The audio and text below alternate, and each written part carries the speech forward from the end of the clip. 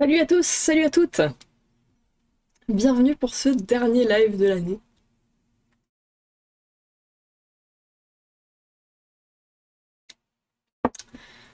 Et donc pour ce dernier live de l'année, on va un petit peu faire le tour de quelques informations qui ont été marquantes euh, pendant cette année et puis euh, voir aussi peut-être euh, ce pourquoi on peut s'enthousiasmer pour l'année prochaine.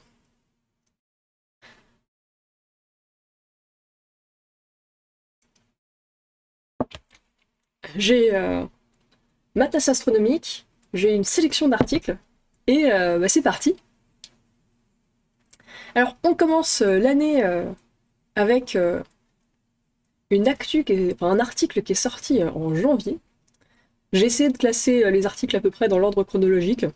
le, classement est peut-être un petit peu approximatif, mais en gros, par ordre chronologique, en partant du début de l'année.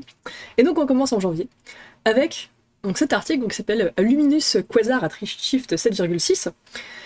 Alors, concrètement, ce que ça veut dire, c'est qu'on a découvert un trou noir qui est beaucoup plus vieux que tous les trous noirs qu'on avait trouvés avant, et qui en plus est plus massif. Il est à peu près deux fois plus massif que euh, le trou noir le plus massif qu'on connaissait avant lui. Et euh, jusqu'à présent, bah, tous, les, tous les trous noirs qu'on avait trouvés, ils étaient à un redshift inférieur à 7,5. Donc 7,5 c'est déjà très très loin, c'est euh, de l'ordre de la dizaine de milliards d'années-lumière. Donc c'est très très loin. Et donc là, on en a trouvé un encore plus loin.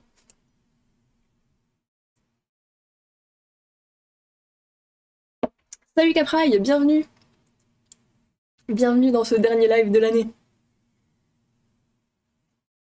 Et donc voilà, c'est rigolo parce que bah, du coup on continue, on continue de découvrir des objets de, plus en plus lointains.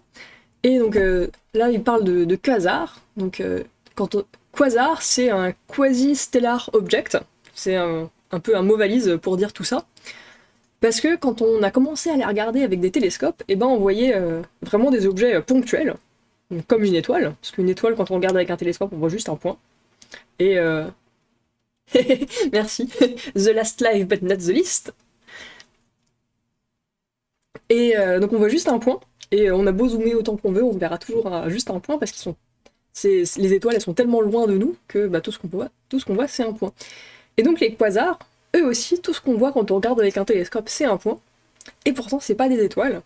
C'est des objets qui sont beaucoup, beaucoup plus lointains, mais qui aussi, du coup, sont beaucoup, beaucoup plus brillants. Et euh, notamment, bah, il y a euh, des trous noirs supermassifs qui vont accréter de la matière, donc ils vont faire avec toute la matière qu'il y a autour d'eux, et puis du coup, ils vont rayonner dans tous les sens. Et euh, bah, c'est ces rayonnements-là qu'on va voir. Et sauf que bah, ils sont tellement loin qu'on voit juste un point. Et donc c'est pour ça qu'on appelle ça des objets quasi-stellaires. Donc euh, quasar, c'est quasi-stellar. Voilà. Salut Germain Lévis, bienvenue Et ouais, vas-y, pose ta question de vocabulaire qu'après, avec plaisir.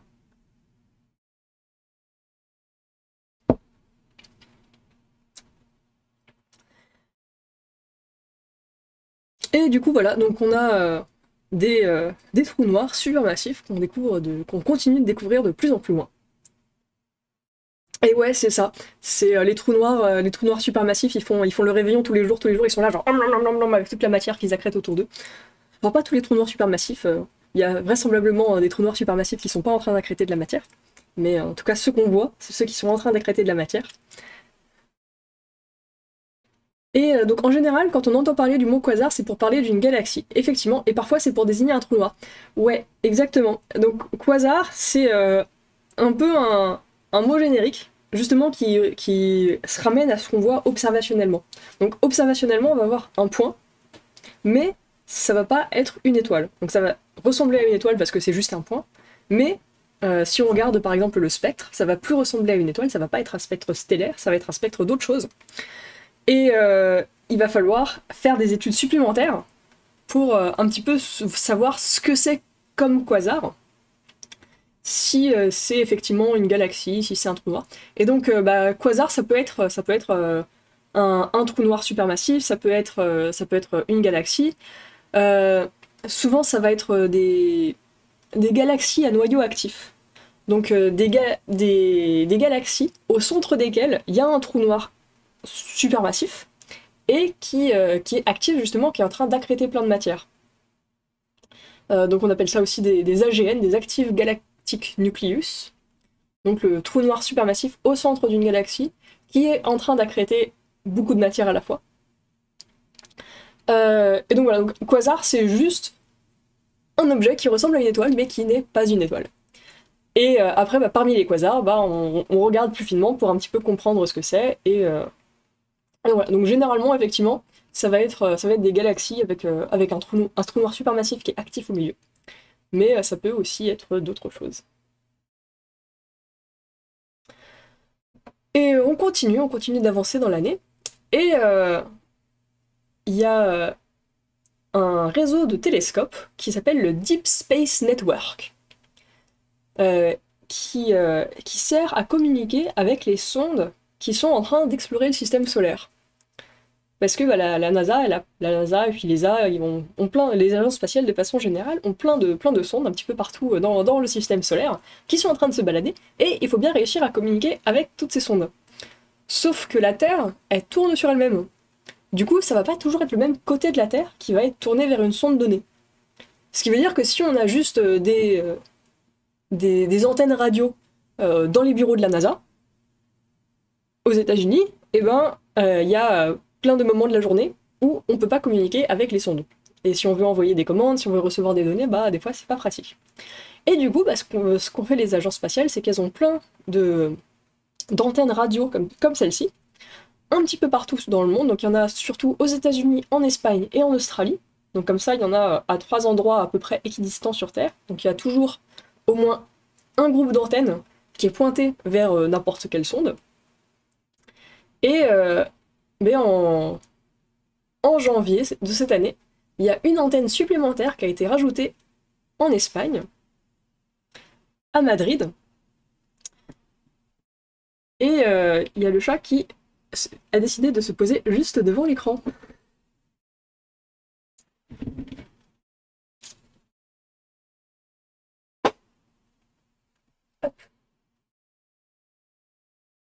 Je l'ai posé à côté.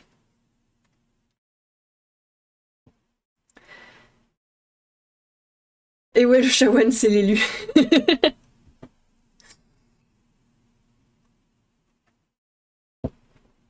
c'est surtout un algorithme cryptographique qui ne fonctionne plus, mais heureusement, le chat fonctionne encore. Et donc voilà, donc il y a, ce, réseau d'antennes qui a, qui a été étendu, auquel on a rajouté une antenne. Et euh, ce, qui, ce qui permet du coup d'avoir euh, de la redondance aussi dans le système, ça veut dire que bah, s'il y a une antenne qui à un moment donné fonctionne plus, eh ben, il y a d'autres antennes qui peuvent prendre le relais. Donc voilà, il y a des, antennes à Madrid, à Goldstone aux États-Unis et à Canberra en Australie. Et euh, on peut voir en temps réel euh, avec quel satellite chacune des, antennes est en train de communiquer. Donc euh, il y en a qui sont en train de communiquer avec SOHO. Donc SOHO c'est une sonde qui est en orbite autour du Soleil et qui prend des photos du Soleil depuis bien une bonne dizaine d'années maintenant, plus que ça, peut-être même 15. Euh, après, il y a quoi? Y a... Ah bah tiens, il y, a... y en a une qui est en train de parler avec le JWST. On peut voir euh, la tête de l'antenne et puis euh, la tête, enfin une photo en tout cas, de, la sonde avec laquelle l'antenne est en train de communiquer. Et, donc voilà, et donc on continue de déployer des moyens pour communiquer avec, avec toutes ces différentes sondes. Et Shawan, tu, tu m'embêtes là, tu m'empêches de lire les articles bien mimi, mais euh... là sur mon épaule. Ça sur mon épaule ou va ailleurs?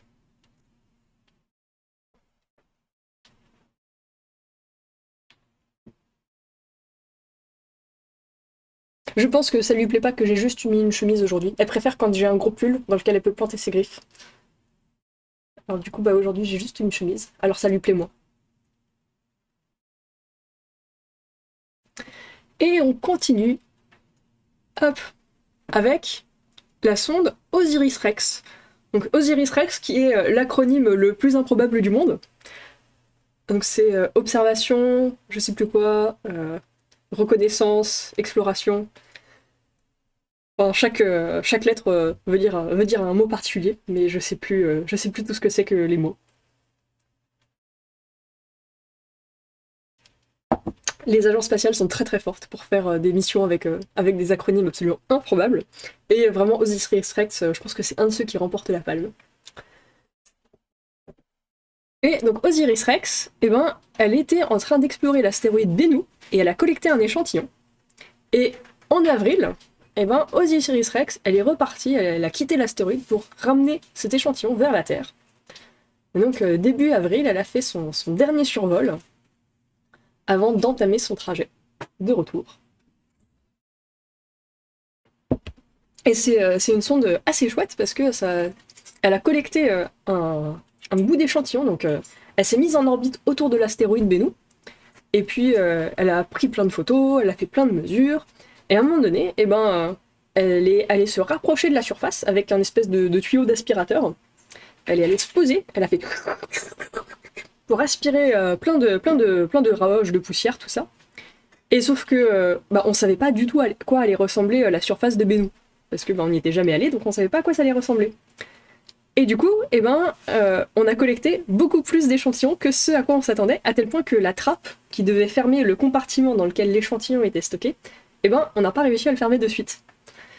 Euh, et du coup, ben, on n'avait aucune idée, au début en tout cas, on n'avait aucune idée de si on avait effectivement réussi à collecter euh, des échantillons et à les garder, ou si tout était tout, s'était barré parce que la trappe était restée ouverte.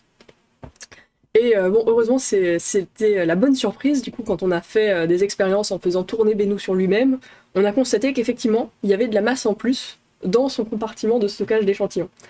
Donc, on a bien collecté un échantillon. Et euh, on va bientôt pouvoir, du coup, l'analyser.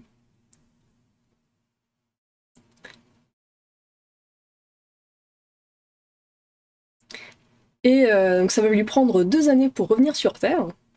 Donc là, il est parti en 2021, début 2021. Salut Science Skull, bienvenue, sur, euh, bienvenue dans le live Et il va lui falloir deux années pour revenir sur Terre, donc elle arrivera en 2023. Donc euh, en 2023, les, scientifiques auront plein de nouveaux échantillons à, étudier, et ça va être très très chouette.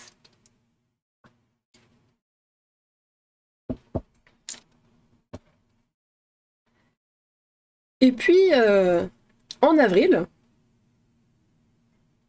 et ouais, euh, c'est ça, on s'est rendu compte qu'on avait effectivement réussi à collecter des échantillons en faisant tourner la sonde sur elle-même.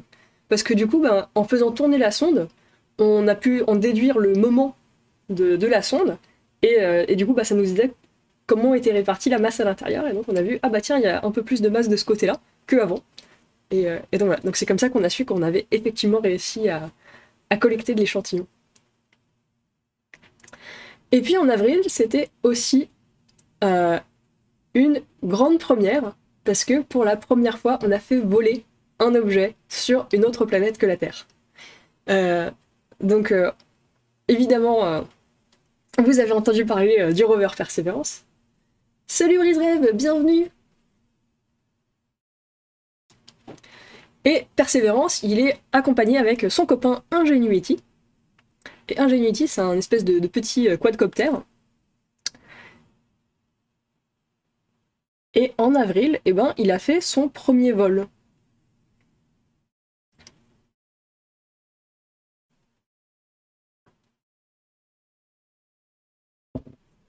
Alors euh, en avril déjà c'était assez ouf parce que bah, c'était la première fois qu'on faisait, euh, faisait voler quelque chose sur une autre planète que la Terre. Mais en plus depuis bah, on sait que euh, Ingenuity non seulement il a fait ses 5 missions nominales,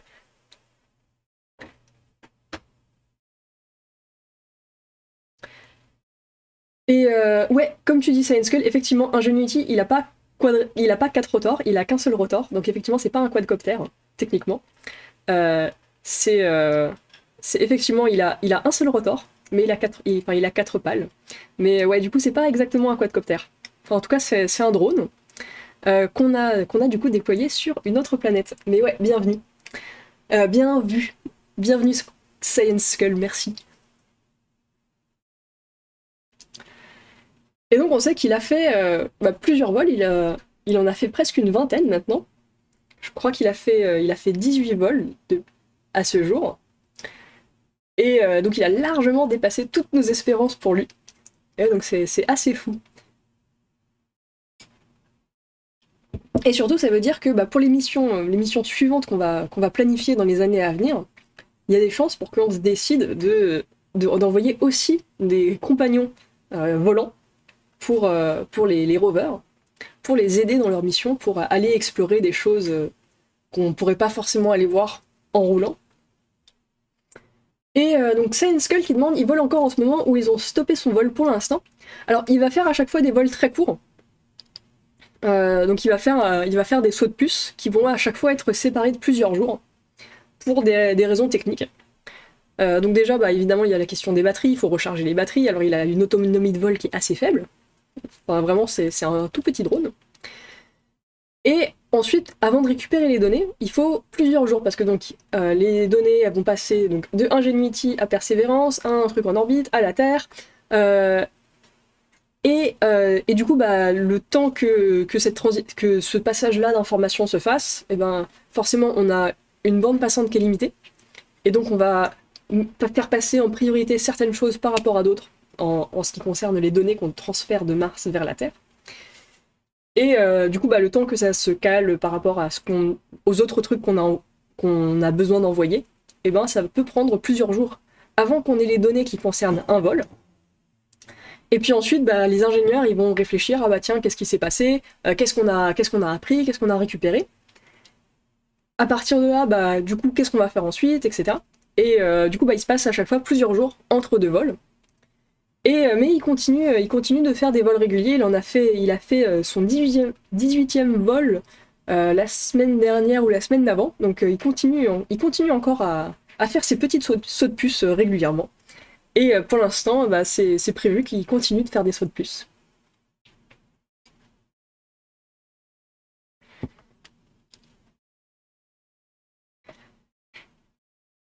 Et bah, du coup, bah, c'était assez fou qu'il fasse en avril ce vol où il a décollé. Il est monté à 3, mètres de hauteur. Il a passé 30 secondes à 3 mètres de hauteur et il s'est reposé délicatement, sans rien casser. Et, euh, et c'était, assez fou. Alors évidemment, euh, ce drone, bah, il est semi-autonome, euh, dans le sens où les communications entre la Terre et Mars, elles peuvent prendre jusqu'à 40 minutes.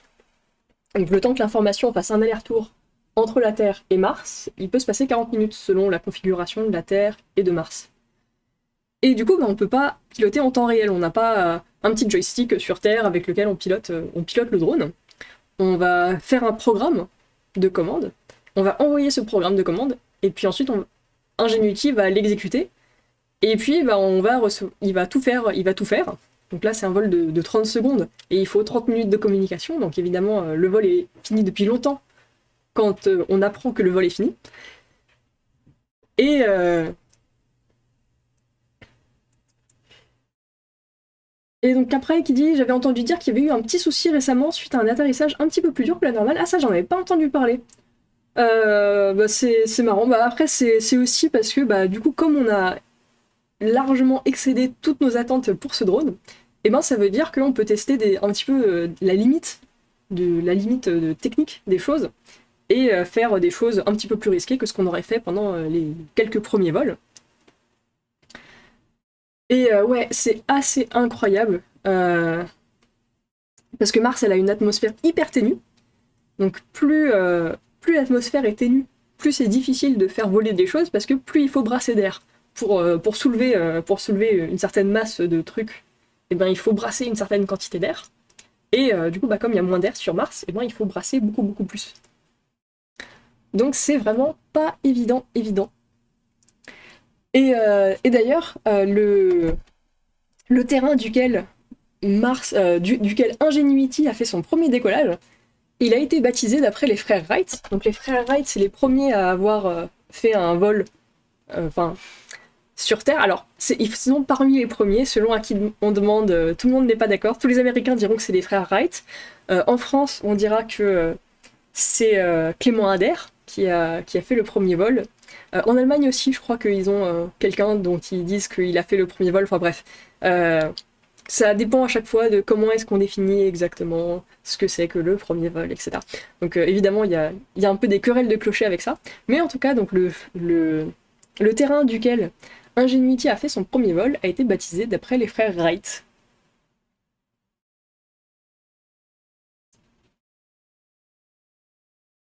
Euh, ouais, Lilienthal.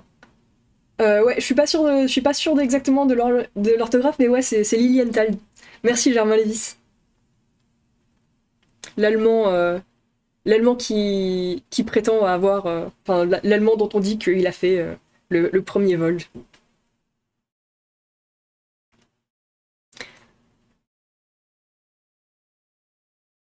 Et puis, bah, les États-Unis, c'est pas les seuls cette année à avoir envoyé des trucs sur Mars. cette année, il y a trois engins différents qui sont arrivés, qui sont arrivés sur Mars. Donc évidemment, il y a Perseverance et Ingenuity. Il y a une sonde de, des Émirats arabes unis qui s'appelle Hope, qui veut dire euh, espoir en anglais. Et puis, il y a euh, le rover chinois Jurong. Donc Science Skull qui dit les Chinois ont mis leur taïkonaute du XIIIe siècle sur chef feu d'artifice aussi. Euh, ouais, dans mon souvenir, ça s'était pas très très bien passé. Euh, je sais pas si c'est bien cet événement-là que j'ai en tête, mais dans mon souvenir, ça, ça, s'était pas très bien passé avec euh, le Chinois qui s'était accroché euh, à une chaise avec des feux d'artifice pour essayer de partir dans l'espace.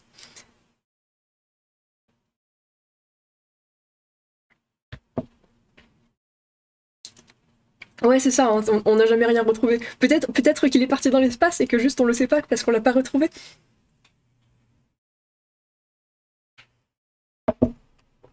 Mais en tout cas, le rover Jurong, euh, lui, est un franc succès. contrairement, euh, contrairement à, la chaise feu d'artifice qui a fait euh, pouf et qui a disparu, comme tu dis, c'est une skull. Et donc Jurong, c'est un franc succès et c'est assez fou parce que il y a, un peu une blague qui est comment est-ce qu'on appelle un atterrissage sur Mars? Donc un atterrissage sur la Lune, c'est un alunissage. Et donc un atterrissage sur Mars, Mars c'est un crash. Parce que euh, au début de l'exploration martienne, bah, il y avait quand même euh, beaucoup, beaucoup d'échecs. Et euh, pendant, pendant longtemps, il y avait plus que la moitié des trucs qu'on avait envoyés sur Mars qui avaient échoué.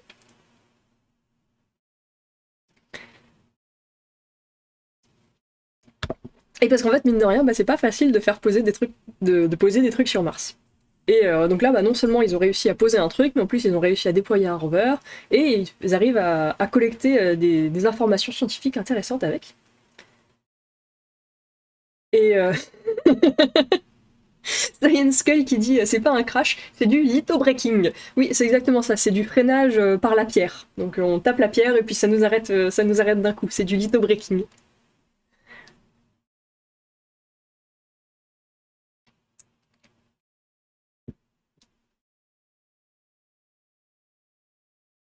Et donc voilà, donc euh, maintenant il y a plusieurs agences spatiales euh, qui ont des rovers sur Mars et qui sont en train d'explorer activement la planète.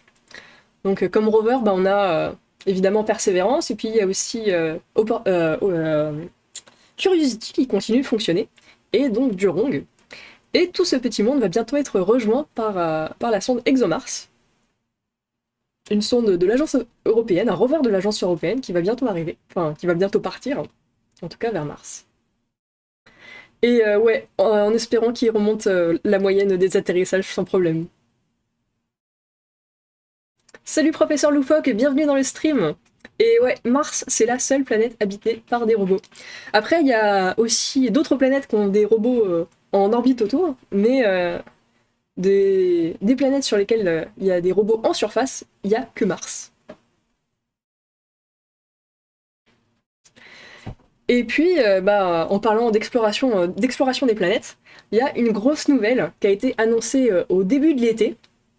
C'est l'acceptation par, la NASA et par l'ESA de trois nouvelles missions pour aller explorer Vénus.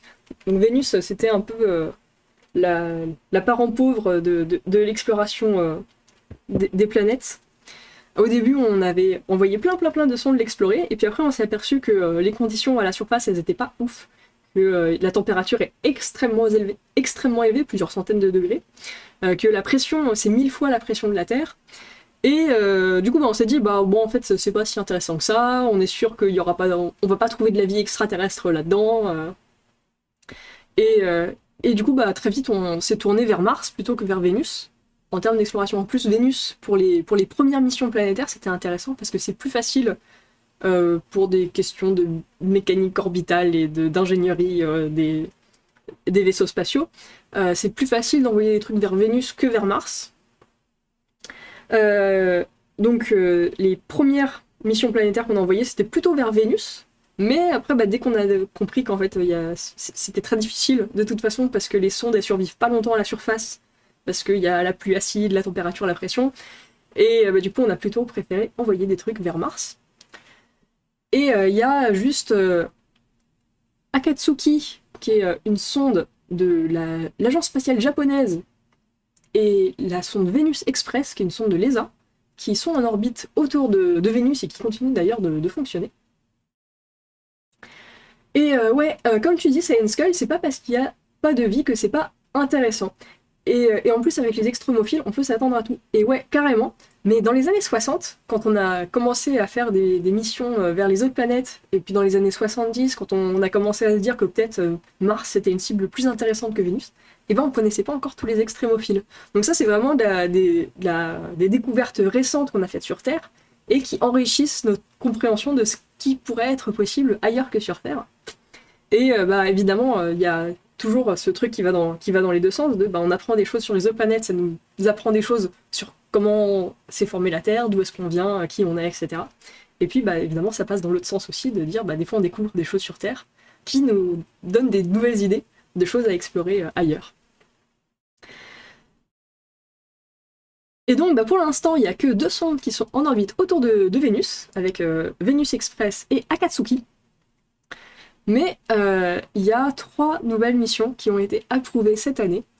Il y a la mission Veritas, qui, est, qui est une mission de la NASA.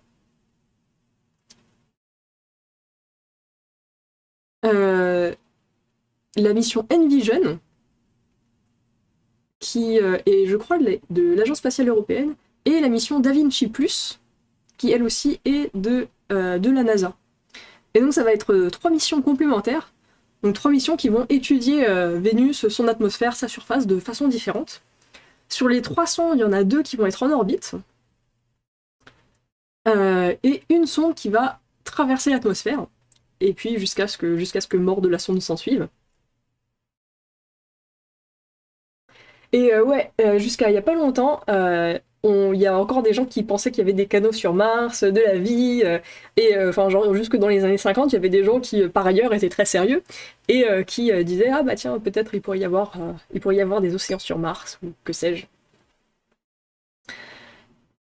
Il y, a, il y a, même des gens très sérieux qui ont dit ah bah peut-être que la surface de la Lune elle est faite de fromage. Il y a le chat qui fait les 100 pas devant moi. Je suis pas exactement sûre de, ce qu'elle attend de moi.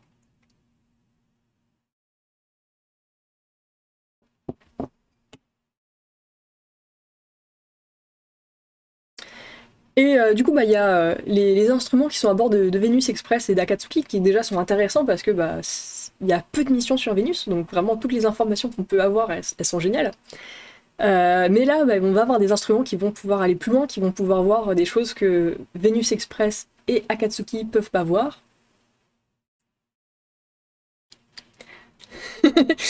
Comme tu dis, Saiyan Skull, il y a le chat qui fait, qui fait des éclipses de la webcam. Et Caprai qui demande des éplins sur Vénus, c'est prévu. Euh, alors pour l'instant, non. Je suis sûre qu'il y a des gens qui, quelque part dans leur tiroir, ont des, projets de, de Zeppelin sur Vénus. Mais en tout cas, il n'y a pas de mission de Zeppelin sur Vénus qui a été acceptée. Parce que bah, la, façon, la, façon dont ça fonctionne pour les agences spatiales, typiquement les agences spatiales vont dire ah bah tiens on a euh, tel type de mission. Donc ça va être euh, une mission, euh, une petite mission, une mission moyenne, une mission grande. Et bah proposer ce que vous voulez pour rentrer dans le cadre de ce type de projet. Et sauf que à chaque fois les deadlines elles sont super courtes. Ça va être des deadlines de un mois, six mois, enfin ça va être des trucs très courts par rapport au temps qu'il faut pour développer un projet. Donc les scientifiques en amont de, des, propositions de la NASA, de l'ESA, etc., bah, ils vont réfléchir à des concepts, ils vont commencer à préparer des trucs, réfléchir à bah tiens, qu'est-ce qu'il faudrait comme instrument, qu'est-ce qu'il faudrait comme masse, qu'est-ce qu'il faudrait comme ceci, cela, qu'est-ce qu'on veut faire comme science avec. Et donc ils préparent des dossiers. Et puis le jour où la NASA dit ah bah tiens, on, propose ce, projet-là, et eh ben les scientifiques ils ont juste à ouvrir leur tiroir et euh, mettre euh, le, dossier qu'ils ont déjà presque entièrement préparé sur la table. Et donc il y a sûrement des gens quelque part qui ont euh, des projets de Zeppelin sur Vénus dans leur tiroir, mais en tout cas pour l'instant ça n'a pas été accepté. Par contre, on a déjà eu des ballons dans, dans l'atmosphère de Vénus. C'était l'émission Vega, si je dis pas de bêtises.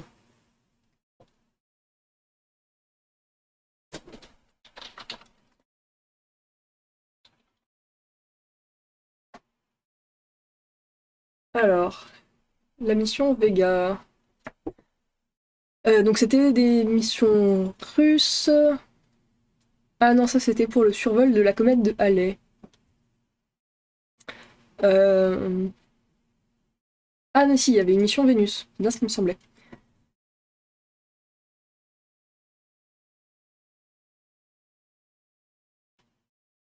Donc il y avait euh, Vega 1 et v alors Venera, y a, parmi les sondes Venera, il y a des sondes qui se sont posées à la surface, mais là je parle vraiment de, missions avec des ballons euh, pour flotter dans l'atmosphère. Et ah voilà, euh, donc il y avait deux ballons qui devaient flotter dans l'atmosphère pour étudier l'atmosphère martienne. Donc c'était bien, bien les missions Vega. Donc Venera, on connaît surtout 9, 10, 13 et 14. Parce que ces sondes-là, elles se sont posées à la surface et elles ont réussi à prendre des photos de la surface. Et donc ça déjà, c'était assez fou. Elles n'ont pas duré très très longtemps, mais elles ont pu prendre des photos et nous dire un petit peu à quoi ressemble la surface de près. Donc euh, c'était des missions assez ouf. Et les missions Vega, qui, euh, ont eu lieu plus tard, eh ben c'était euh, c'était pour principalement pour étudier l'atmosphère, avec donc ces ballons qui ont flotté dans l'atmosphère pendant un certain temps. Parce que dans l'atmosphère de Vénus, plus on monte, moins il fait chaud, et plus la pression est faible. Donc plus c'est facile d'avoir des instruments de mesure.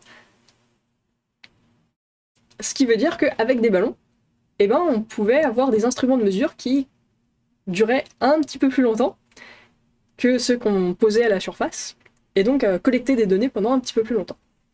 donc il y a les missions Vega qui ont déjà mis des ballons dans l'atmosphère de Vénus. Donc c'est pas vraiment des zeppelins, mais c'est des trucs qui flottent en l'air. Voilà.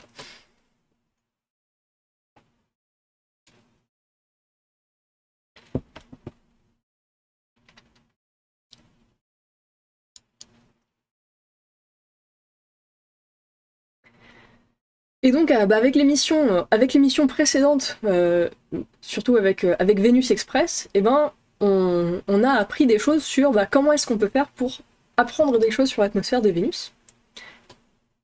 Et aussi sur sa surface. Donc, qu'est-ce qu'on peut apprendre de la surface depuis l'orbite? Et donc, bah, tout ce qu'on a fait avec, avec Venus Express, eh ben, ça informe aussi ce qu'on va faire avec les sondes qui vont venir, les trois sondes qui vont venir, sur qu'est-ce qu'on peut mettre comme instrument à bord de ces sondes-là aussi étudier la surface, pas juste l'atmosphère. Parce que l'atmosphère, elle est très opaque, très épaisse. Donc quand on est en orbite et qu'on regarde avec... Euh, enfin, si on regardait avec nos yeux depuis l'orbite, euh, depuis eh ben on verrait juste la surface des nuages. Mais avec euh, certains types d'instruments, notamment avec du radar, eh ben on peut traverser la couche de nuages et voir la surface.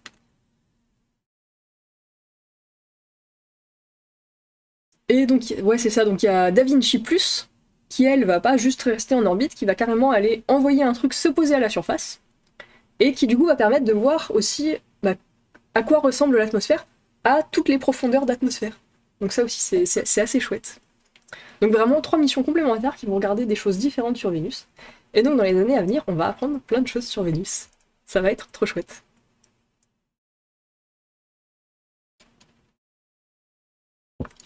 Et puis, bah, des fois, euh, des fois, on fait des découvertes parce qu'on cherche des trucs, et puis des fois, euh, on fait des découvertes un petit peu par, euh, accident. Et notamment, bah, on a trouvé un petit peu par hasard une... La, la sérendipité. Oui, exactement. comme tu dis, Capraille, c'est difficile à prononcer. sérendipité.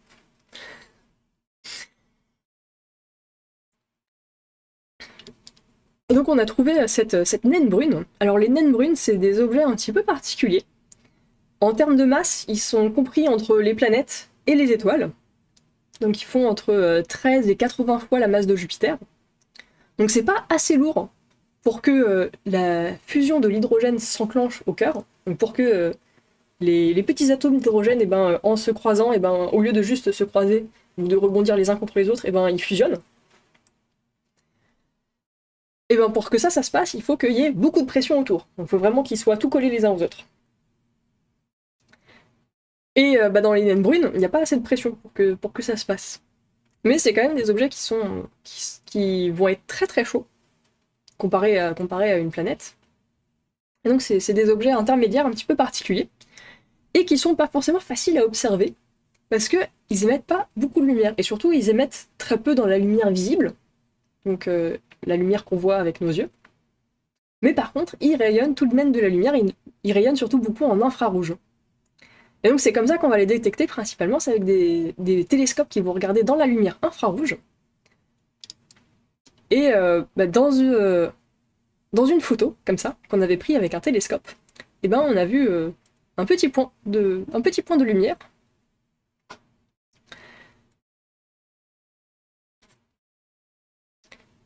Et donc les, les, naines brunes, en refroidissant, eh ben, il y a la lumière qu'elles vont émettre qui va changer. Parce que donc elles vont émettre dans l'infrarouge mais selon leur température, elles vont pas émettre à la même longueur d'onde. Donc plus un objet est chaud, plus il va émettre de la lumière avec des rayons, des longueurs d'onde courtes. Alors que plus il est froid, moins il va avoir, moins il va émettre d'énergie, la lumière qu'il va émettre va avoir une longueur d'onde qui va être grande.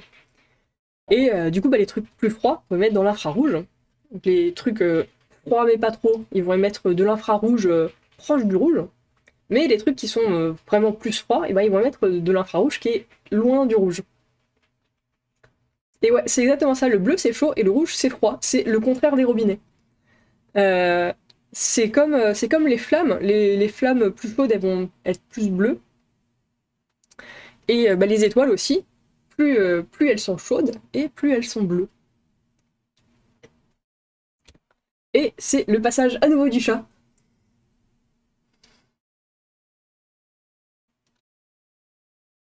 Et euh, ouais, donc c'est comme, euh, comme le métal, bah, quand, on le chauffe, euh, quand on le chauffe à blanc, bah, c'est qu'il est très très chaud. Et puis après, bah, si on laisse un métal chauffer à blanc refroidir, il va devenir progressivement jaune, orange, rouge. Et puis à la fin, bah, il, il émettra plus de, lumière visible, il émettra de l'infrarouge, justement, sauf que l'infrarouge, on le voit pas. Et, et du coup, on verra, pour nous, pour nos yeux d'humain, et eh ben, ça sera comme s'il émettait plus de lumière, mais c'est juste qu'il émet la lumière infrarouge. Et euh, cette, euh, cette, euh, cette naine brune qu'on a découverte par sérendipité, elle est un peu particulière parce qu'elle est super vieille. Elle a entre 10 et 13 milliards d'années. Donc c'est assez curieux. Déjà, c'est. Notre, univers, il a 13,8 milliards d'années. Donc là, c'est euh, une naine brune qui remonte euh, pouf, au début, vers, les débuts en tout cas de, l'univers. Et euh, du coup, bah, comme elle est très très vieille, ça veut dire qu'elle a beaucoup eu le temps de refroidir. Et donc elle a eu une lumière qui est un peu différente des autres naines brunes qu'on connaît. La plupart des naines brunes qu'on connaît, elles vont pas avoir, elles vont pas émettre de la lumière exactement pareille que celle-là. Et du coup, bah, ça nous a pris un petit peu un moment avant de comprendre que, ah bah effectivement, ce qu'on voit, c'est bel et bien une naine brune.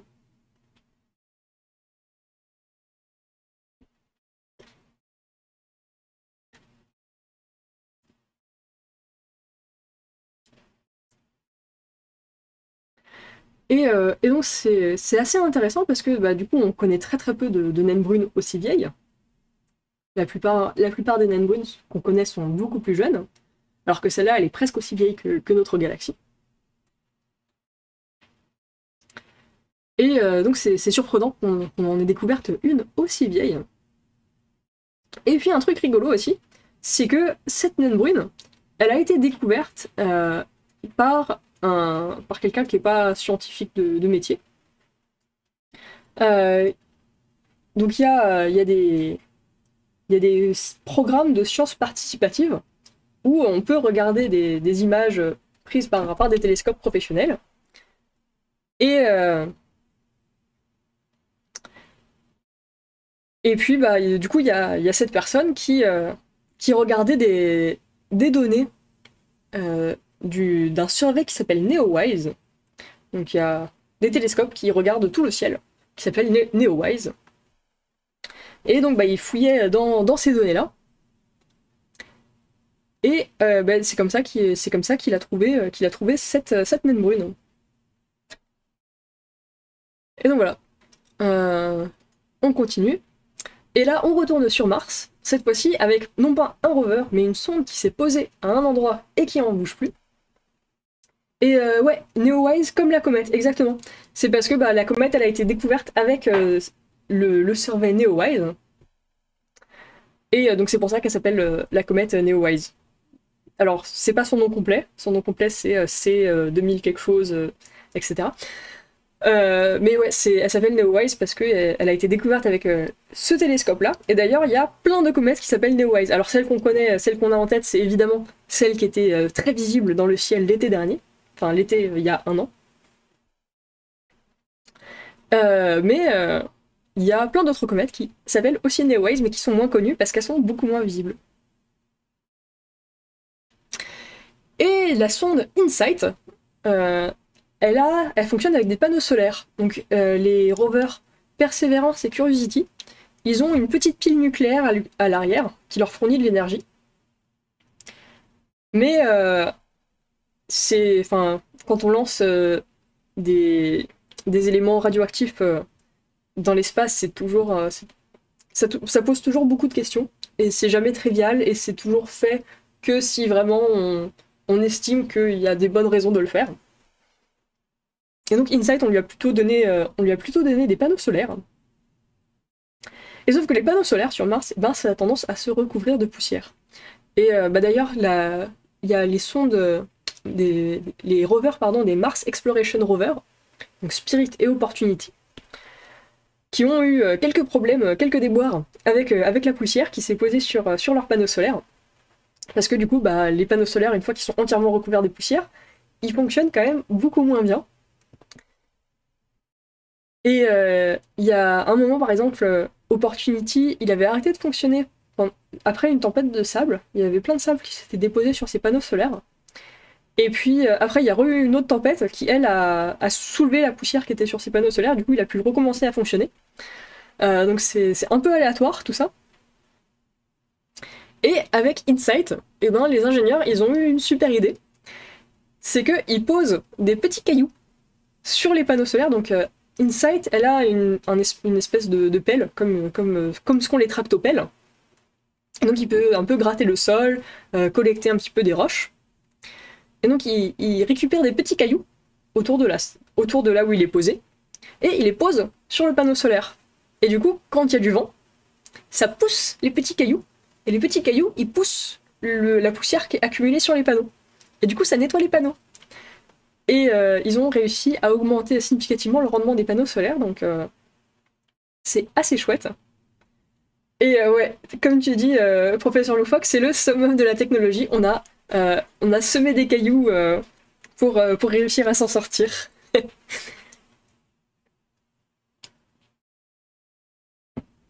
Et Insight, elle est super cool comme sonde. Et du coup, c'est vraiment chouette que qu'on réussisse à, faire en sorte que bah, on est sûr comme ça qu'elle fonctionne, qu'elle continue de fonctionner, que ces panneaux solaires continuent de lui fournir de l'énergie. Parce qu'elle a notamment un sismomètre à bord. Donc un appareil qui mesure les tremblements de terre.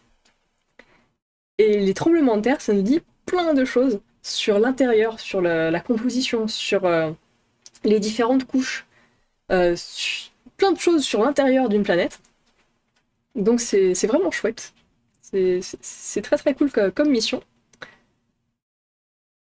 Et euh, il détecte régulièrement des, petits tremblements de terre. Donc par exemple, il en a, il en a détecté un le 18 septembre de cette année.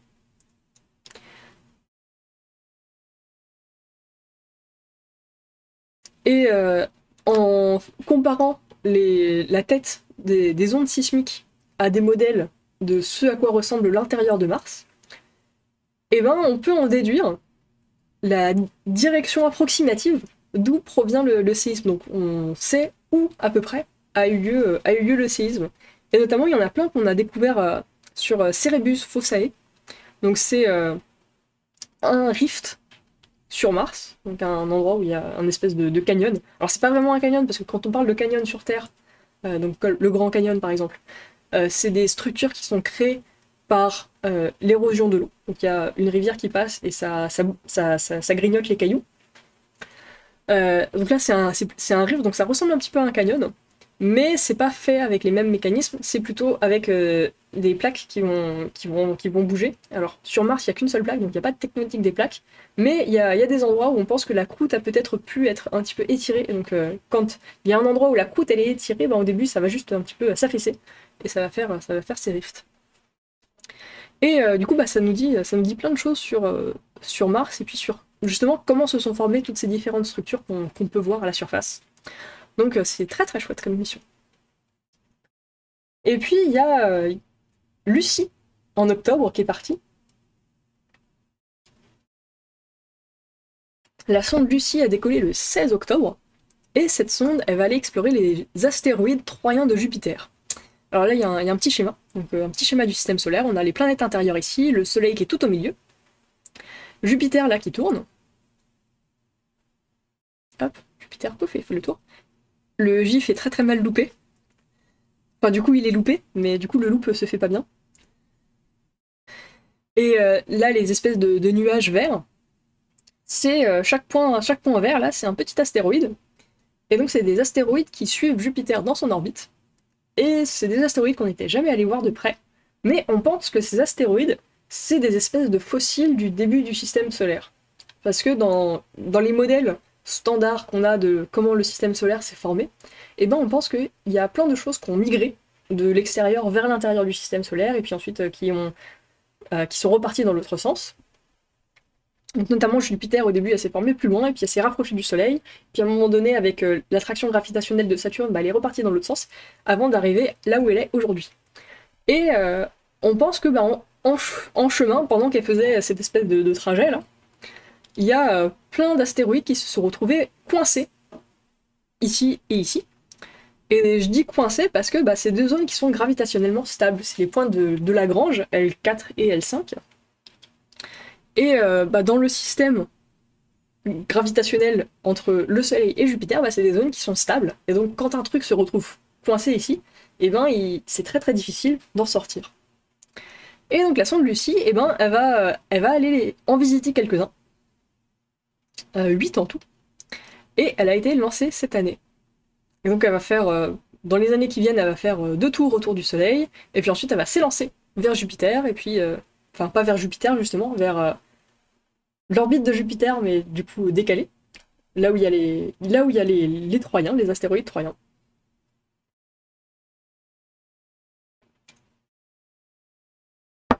D'ailleurs, cette année, c'était une grande année en matière d'exploration d'astéroïdes. Parce qu'il y a aussi eu la mission DART, qui allait cogner contre un astéroïde pour modifier très légèrement sa trajectoire, et voir bah, si c'est possible. Alors, euh, l'astéroïde euh, qu'il a heurté, et euh, il, est assez loin de la Terre, il n'y a aucun risque qu'il arrive vers nous. Mais si jamais un jour il y avait un astéroïde qui se rapprochait dangereusement de la Terre, eh ben on aimerait bien savoir à l'avance si, oui ou non, on est capable d'y faire quelque chose. Et du coup, bah, pour préparer cette éventualité-là, il y a euh, la NASA qui a envoyé euh, la, sonde DART cogner contre un astéroïde et voir bah, dans quelle mesure est-ce qu'on est capable de modifier sa trajectoire.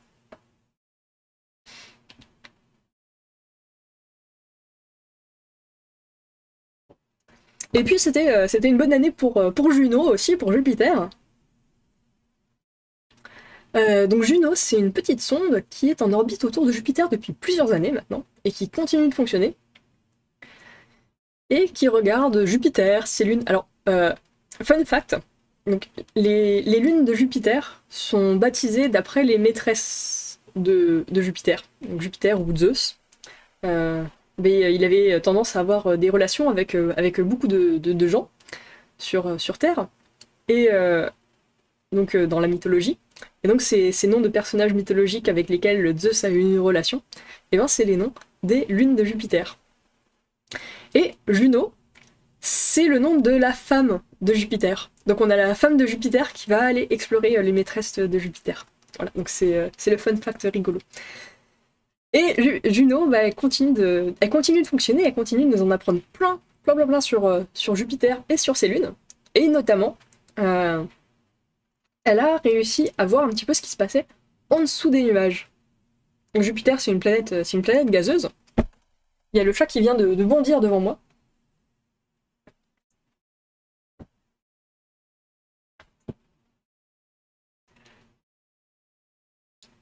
Et euh, donc c'est une planète, c'est une géante gazeuse. Et euh, Juno, a permis de, comprendre un petit peu mieux bah, quelle est la structure à l'intérieur, quelle est la structure sous les nuages de Jupiter.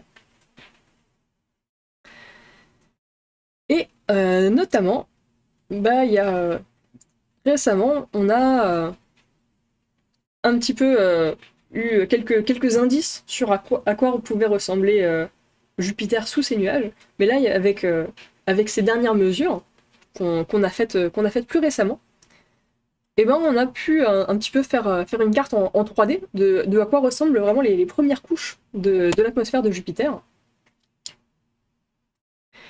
Avec, euh, donc, en, ondes micro-ondes. parce que les nuages, ils sont opaques quand on regarde en, lumière visible, mais bah, ils vont pas être opaques de la même façon à différentes longueurs d'onde. Donc il y a plein de trucs comme ça mais on a l'impression qu'ils sont opaques, donc la lumière ne peut pas les traverser. Sauf que bah, si on regarde avec une autre longueur d'onde, et voilà, la lumière elle peut traverser. Euh, par exemple, bah, nous, euh, on est opaque à la lumière visible. Par contre, notre, notre peau, nos muscles vont être transparents pour la lumière en rayon X. C'est pour ça qu'on fait des, radios avec des rayons X. Parce que bah, cette lumière-là, elle va pouvoir traverser notre chair. Mais par contre, nos os, et ben, eux, ils vont quand même être opaques au rayon X. Euh, les, vitres, par exemple, euh, donc c'est transparent pour la lumière visible. Donc euh, si il y a une source de lumière, bah, nous, avec nos yeux d'humain, on va voir la source de lumière de l'autre côté de la vitre. par contre, les vitres peuvent être opaques à la lumière ultraviolette, à la lumière infrarouge. Par exemple, bah, sur les lunettes, les verres ils sont traités pour être opaques aux ultraviolets. Et euh, professeur Loufoque qui dit JM Courty a fait une super vidéo là-dessus. Euh, je connais pas JM Courty, faudra que je regarde.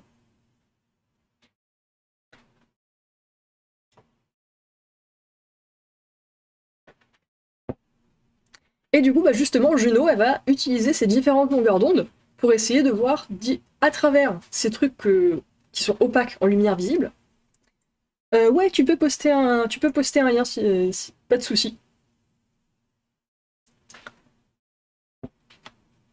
Et euh, les différentes couches de l'atmosphère vont aussi être opaques à différentes longueurs d'onde. Donc en regardant avec plein de longueurs d'onde différentes, eh ben, on va pouvoir faire un petit peu une cartographie en, 3D. Et puis euh, aussi voir un petit peu bah, les températures, plein de trucs comme ça. Et donc on a vu que par exemple les cyclones sur Jupiter, eh ben, ils sont plus chauds au-dessus, avec euh, une densité, une pression atmosphérique en fait qui est, plus faible. Et ces cyclones vont être plus froids vers le bas. Donc euh, quand, on a un, espèce de tourbillon qui va dans un sens, eh ben, euh, on a remarqué que du coup, ils sont plus chauds au-dessus et plus froids en dessous. Et puis on a aussi découvert que bah, quand on a euh, ces, espèces de, taches, donc ces, ronds avec du vent qui souffle dans une direction en rond comme ça, eh ben, en fait, on a ce cyclone va être super profond. Ça va pas juste être un truc sur la surface, ça va vraiment être un truc qui va avoir une structure en 3D et qui peut s'étendre sur des centaines de kilomètres de profondeur.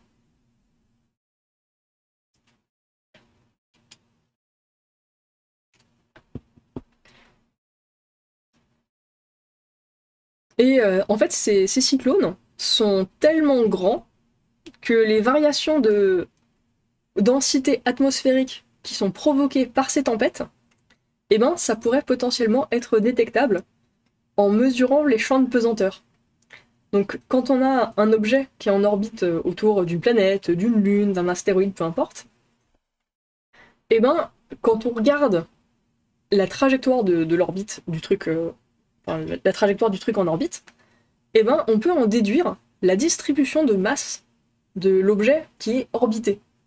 Donc c'est ce qui s'est passé par exemple pour la Lune. Euh, quand on a commencé à envoyer des, sondes autour de la Lune, en orbite autour de la Lune, eh ben on comprenait pas trop, parce que les orbites, elles se décalaient.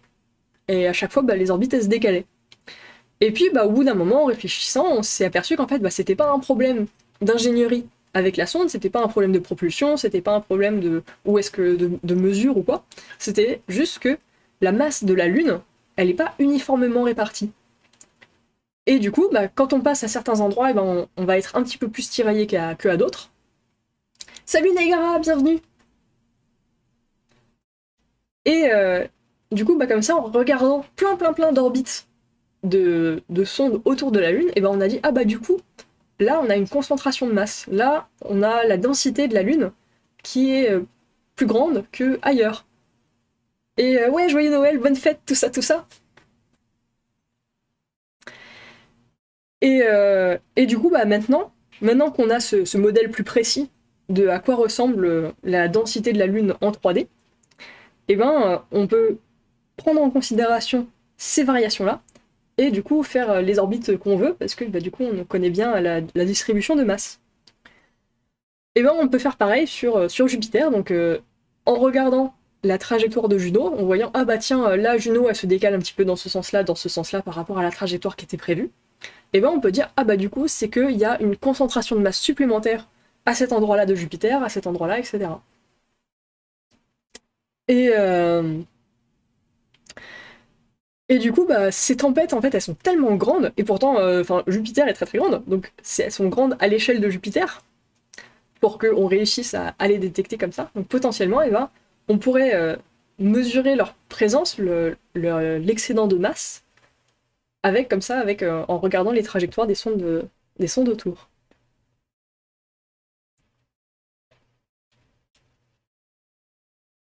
Et puis Jupiter, donc il n'y a pas que les cyclones, il y a aussi euh, les bandes. Donc les bandes, en fait, c'est des nuages. Et euh, c'est des, des, bandes qui vont tourner à différentes, vitesses autour, de la planète. Et ces bandes, ces bandes de nuages, peuvent avoir une épaisseur de plusieurs milliers de kilomètres. C'est assez ouf. Et puis ce qui est intéressant aussi, c'est euh, de comparer l'atmosphère de Jupiter à l'atmosphère terrestre, parce que bah, finalement c'est un, laboratoire grandeur nature d'atmosphère, de, climat. Et euh, du coup, bah, en modélisant, en voyant si nos modèles physiques permettent de décrire ce qui se passe dans l'atmosphère de Jupiter, et eh ben ça nous dit si nos modèles physiques, eh ben, euh, ils fonctionnent bien dans toutes les configurations ou pas. Et du coup, bah, ça nous permet d'améliorer nos modèles physiques, que ensuite bah, on applique au modèle météo de la Terre, et du coup d'avoir des meilleures prévisions.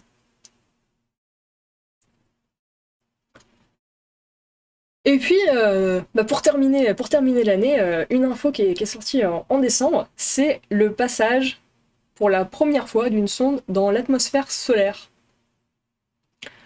Donc c'est la sonde Parker, qui est une sonde de la NASA, euh, qui a pour but d'observer euh, le Soleil et surtout l'activité magnétique du Soleil. Et euh, aussi bah, les interactions entre la, magnétosphère du Soleil et la magnétosphère de la Terre. Donc ça, on le fait bah, forcément, plus on connaît de choses sur la magnétosphère de la Terre, mieux on pourra comprendre les interactions entre les deux magnétosphères.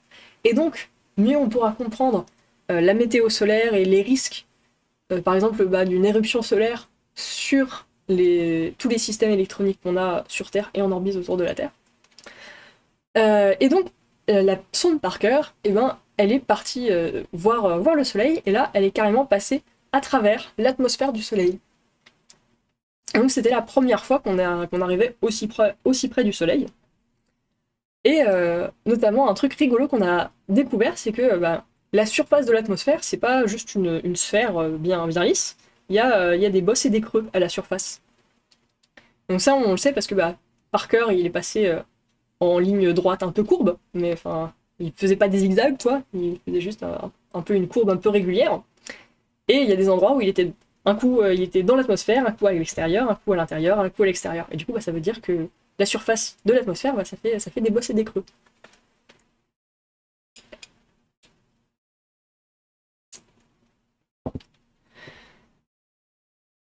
Et puis, euh, bah, évidemment, il y a aussi eu euh, le, lancement tant attendu du, JWST, donc le télescope spatial qui a été lancé euh, cette semaine, qui va, qui va observer, observer l'univers, qui est un peu l'espèce de, successeur de Hubble. Et du coup, bah, il y avait un article que, je trouvais un, petit peu intéressant à, regarder dans, dans, cette optique-là. Salut One Again, bienvenue euh, et, merci de suivre la chaîne. Euh, bah, il y a un truc avec le, JWST, qui était d'ailleurs pas prévu à la base. Euh, parce que le JWST, a commencé à être planifié au début des années 90. On a commencé à réfléchir à comment on allait faire ce télescope au début des années 90. Et à l'époque, on connaissait aucune exoplanète. Entre-temps, en 1995, on a découvert la première, et puis aujourd'hui, on en connaît à peu près 5000. Et du coup, bah, un truc qui n'était pas du tout prévu à la base, c'était l'observation des exoplanètes. Et en fait, ça va être une des grosses missions de, euh, du JWST. Et souvent, euh, quand, euh, quand on parle d'exoplanètes, quand on lit les titres de la presse, tout ça, bah, souvent on voit Ah bah tiens, telle planète est habitable, telle planète c'est une super Terre, etc. Et, et en fait, alors Super Terre, c'est un, terme en fait assez précis, ça veut dire bah, c'est une planète qui est vraisemblablement rocheuse, donc avec une composition similaire à la Terre, et un petit peu plus grande que la Terre. Mais du coup, bah, quand on lit ça, bah, on sait pas trop, bah, tiens, bah, c'est une super Terre, et puis bah, finalement Elon Musk nous dit qu'on pourra aller vivre sur d'autres planètes, et, euh, tout ça, tout ça. Et euh, vraiment, euh, il y a, un truc qui, qui, est important à retenir finalement du JWST, c'est qu'il n'y a, pas, a pas de planète, euh, il y a pas de planète B, il n'y a pas d'autre planète sur laquelle, euh, sur laquelle on peut vivre. Et euh, donc depuis euh... Capra qui dit une super Terre avec des Superman et des Superwoman, exactement. donc on a depuis, depuis les années 90, on a découvert plein plein plein d'exoplanètes. Mais euh, bah, effectivement, il y a peut-être des planètes habitables dans l'eau, il y a peut-être même des, planètes avec de l'eau liquide à la surface, parce que habitable, en fait, ça veut juste dire euh, qu'il y a eu la possibilité pour que peut-être éventuellement euh, de la vie se forme avec les connaissances qu'on a actuellement. Et donc il y a des planètes dans la zone habitable, donc ça veut dire qu'elles sont dans une bande autour de l'étoile, dans laquelle c'est possible pour que dans certaines conditions de l'eau liquide soit stable en surface. Euh, et c'est assez vague comme définition, et finalement les, les scientifiques sont pas tous d'accord forcément de la, pertinence de cette définition, parce que la présence ou non d'eau liquide stable à la surface, ça dépend pas que de la distance entre l'étoile et la planète, ça va aussi dépendre du type d'atmosphère qu'il y a autour de la planète, ça va dépendre de l'inclinaison, de l'axe de rotation de la planète, bref. Comme tu dis, Negra, ça fait beaucoup de cases à cocher. Et puis aussi, bah, toutes ces planètes, en fait, toutes ces exoplanètes qu'on découvre, qu'elles soient habitables ou non, eh ben, elles sont super loin. Elles sont à des dizaines d'années-lumière de, nous au, mieux. Donc euh, pour y aller, bah, il faudrait 100 euh, 000 années, 1 million d'années. Parce que, bah, en fait, l'espace, c'est super grand. C'est vraiment... Enfin, on, a du mal à, se rendre compte à quel point l'espace c'est grand. Pour moi, en tout cas, j'ai du mal à me rendre compte d'à quel point l'espace c'est grand. Et, euh, et on ne peut pas se déplacer si vite que ça. Parce que bah, même, si, euh, même si on se déplace à 10% de la vitesse de la lumière, disons, ce qui est déjà très très vite, on sait pas, on sait pas le faire. On sait pas aller à 10% de la vitesse de la lumière, mais imaginons, et eh ben, on va pas aller à 10% de la vitesse de la lumière d'un coup. Il va falloir qu'on accélère progressivement et puis après qu'on ralentisse pour pas faire euh, du litho breaking et s'écraser euh, dans la planète où on veut arriver. Donc bah, c'est des centaines de, milliers d'années qu'il faudrait pour pouvoir arriver sur une autre planète que la nôtre. Et, euh, et donc c'est un peu, euh, euh, un, marronnier de la science-fiction, en quelque sorte, mais d'avoir des, gens qui vont s'installer sur, d'autres planètes que la nôtre. Mais vraiment, en fait, c'est pas possible. Et donc voilà. Et donc Elon Musk, il dit un petit peu n'importe quoi quand il dit que on va bientôt être une civilisation sur plusieurs planètes. Il faudrait déjà qu'on réussisse à être une civilisation sur une, seule planète. Et vraiment, ça serait déjà pas mal. Et puis qu'on arrête de détruire notre propre planète. Parce que vraiment, on n'a pas de planète B, indépendamment de toutes les exoplanètes qu'on peut découvrir. Et euh, ouais, euh, Science Skull qui dit l'espace c'est grand, faut voir les vidéos temps réel pour que la lumière aille du soleil aux différentes planètes. Il y a quelques années, euh, j'avais trouvé un site sur lequel tu peux scroller. Donc tu as, le système, le système solaire à l'échelle. Et donc tu pars du soleil, et là tu peux scroller, et puis tu arrives sur Mercure, et puis sur Vénus, et puis tu scrolles, tu scrolles, tu scrolles, tu scrolles sur Terre, et puis très très vite t'en as marre et tu fais pas tout le système solaire parce que vraiment c'est beaucoup trop long. Et puis, bah, je voulais terminer euh, la revue de presse un petit peu avec. Euh, euh, ouais, ça doit être ça, if, if moon was one pixel. Et donc tout est à l'échelle, donc la Lune est représentée par un pixel, et puis ensuite bah, tu as le nombre de pixels qui correspond pour que, pour que ce soit à l'échelle. Et enfin, ça fait beaucoup beaucoup trop de scroll à faire pour arriver jusqu'à Neptune. Et donc pour terminer, Et oui, l'option aller à la vitesse de la lumière qui est plus lent que le scroll. Bah oui, parce que euh, pour, euh, pour, aller, euh, pour que la lumière aille du soleil à la Terre, il faut quand même 8 minutes. Et, et puis après, bah, c'est, ça, se compte, ça se compte en heures quoi, pour aller, pour aller jusqu'aux planètes externes. Et euh, bah, pour, euh, pour annoncer 2022 euh, et plein de trucs pour lesquels être super méga enthousiaste pour, pour l'année qui vient, il y a déjà la sonde ExoMars qui va être lancée avec son rover Rosalind Franklin. Ah ouais, super qu'après t'as as, mis le lien, mis le lien pour si la lune et c'était un pixel.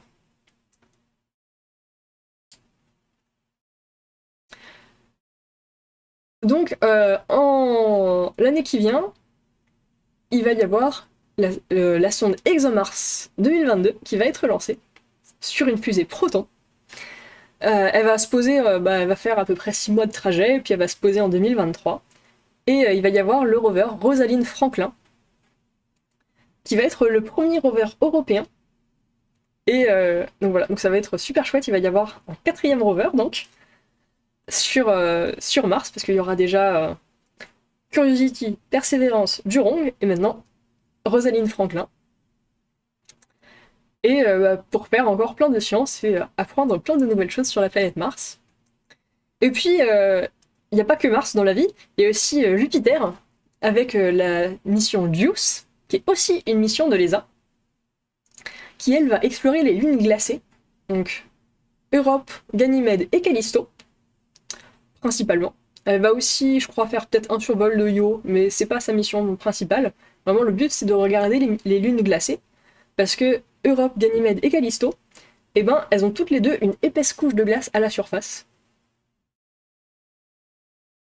Et euh, notamment Europe a un océan d'eau liquide sous la surface.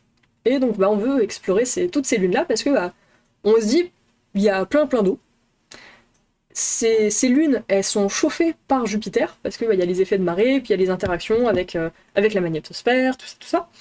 Et euh, du coup, bah, on se dit que bah, peut-être qu'il y a des conditions qui auraient peut-être permis à un moment donné l'émergence de certaines formes de vie.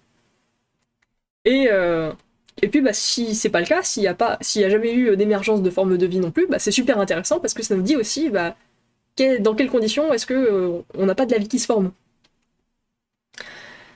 Donc euh, bah, cette sonde va, va un peu essayer de répondre, euh, en tout cas nous apporter des informations pour essayer de répondre, euh, pour essayer de répondre à ces questions. Et elle va être lancée l'année qui vient, en 2022. Elle va voyager pendant 7 ans et elle va se mettre en orbite autour de Jupiter et puis passer, passer à, côté, à côté des lunes glacées. Avec, avec ces énormes panneaux solaires. Alors évidemment, les missions qui vont vers Jupiter, elles ont toutes des panneaux solaires immenses. Parce que Jupiter, elle est super loin du Soleil. Donc la quantité d'énergie reçue par mètre carré de panneaux solaires, elle est beaucoup plus faible que sur Terre. Et donc il faut avoir des panneaux solaires immenses pour réussir à donner assez d'énergie à ces sondes.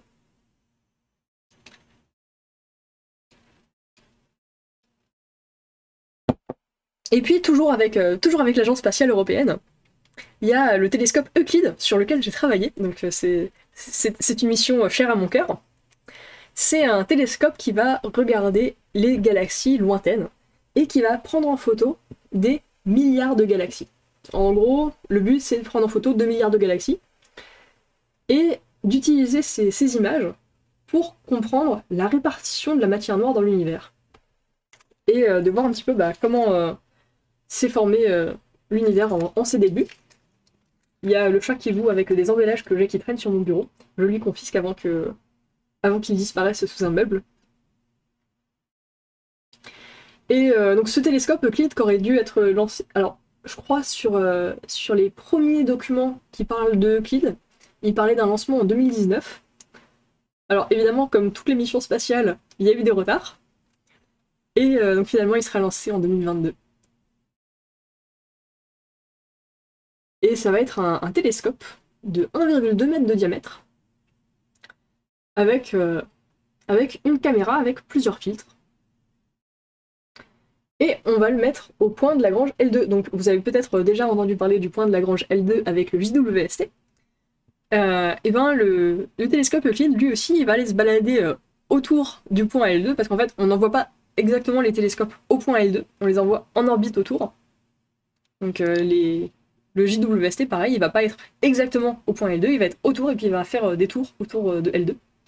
Et euh, ouais, bah en fait, le truc c'est que à 1,5 million de kilomètres, c'est super intéressant de s'y poser, parce que ça veut dire qu'on peut regarder dans une direction du ciel et jamais être dérangé par, par la lumière du soleil.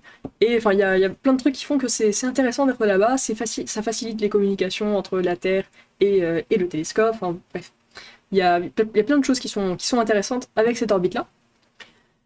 Et euh, du coup, bah, le JWST et Euclid, c'est même pas les seuls télescopes qu'on a envie d'envoyer euh, au point de Lagrange L2. Mais donc voilà, donc Euclid, il va être lancé cette année. Euh, et, ça va être très très chouette. On va apprendre, on va apprendre plein de choses sur, sur les débuts de l'univers, sur les, premiers moments, les tout premiers moments où la lumière commencer à traverser, euh, à commencer à traverser euh, l'univers justement parce qu'au début l'univers était opaque, donc la lumière elle pouvait pas passer à travers euh, le, la matière dans l'univers. Et puis à un moment donné, bah, ça a commencé à être possible pour la lumière d'aller en ligne droite. Et donc avec Euclide, bah, on va un peu remonter vers ces premiers rayons de lumière qui ont pu passer en ligne droite. ouais, le, Dark Age, ouais, c'est The Dark Ages of the Universe. Et puis bon, il n'y a pas que, l'Agence spatiale européenne dans la vie, il y a aussi euh, la NASA qui fait des choses chouettes, avec euh, la sonde Psyche, qui va être lancée euh, aussi en 2022, et qui va aussi s'intéresser à un astéroïde, un astéroïde un peu particulier, parce que c'est un astéroïde composé principalement de métal. Donc généralement les, astéroïdes, ils ont beaucoup de cailloux, cet astéroïde-là, il a aussi beaucoup de métal. Et on pense que peut-être ça pourrait être le reste du cœur d'un embryon de planète. Donc c'est... Il y a le chat qui fait encore une éclipse de caméra. Euh, c'est assez, assez rigolo. Et euh, on n'a jamais exploré un astéroïde métallique de près. Donc ça va aussi être une grande première. Et voilà, donc plein de choses, à attendre pour, pour 2022. Plein de, plein de choses pour lesquelles s'enthousiasmer. Euh, merci, euh, merci à tous, euh, merci à tous d'être venus pour, ce live. Et, puis bah, on se retrouve en 2022 pour la prochaine.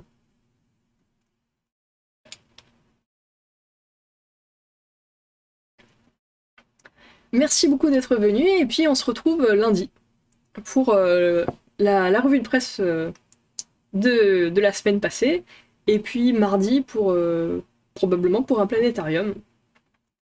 Bon réveillon, prenez soin de vous. Euh, ciao ciao, à bientôt, à l'année prochaine.